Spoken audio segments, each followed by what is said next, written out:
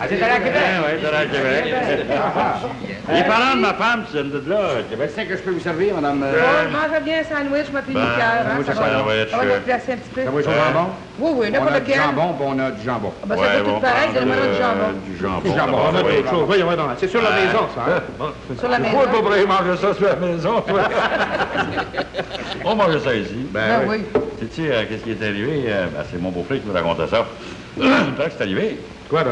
Ben, c'était l'été passé, il faisait très chaud, tu sais. Et puis, euh, Premier ministre Jean Lesage était allé ça, se baigner. T'as entendu Ah, oui, oui, oui, oui.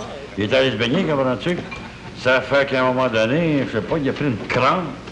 Il a commencé à crier au secours, au secours. Fait qu'il y a trois, il y a trois jeunes gens, tu sais, sur le bord de l'eau.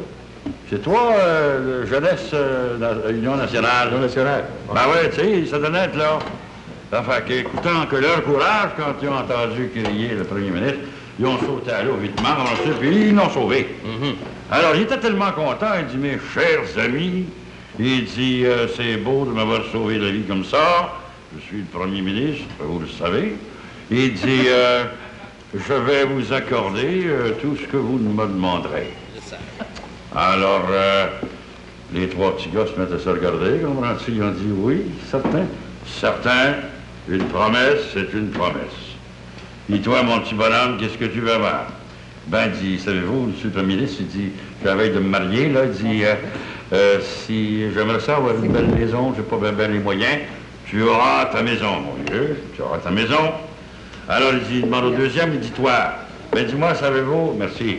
Il dit, euh, je travaille au loin, puis il dit, j'ai pas de voiture, il dit, j'ai pas de, de char, avec, il dit, si j'avais un bon char, il dit, certain, il dit, tu vas l'avoir, je vais te l'acheter. Il demande au troisième, il dit, toi, qu'est-ce que tu veux?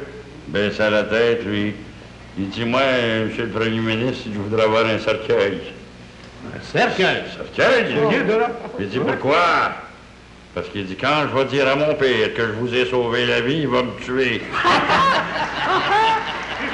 Moi, je la trouve bonne.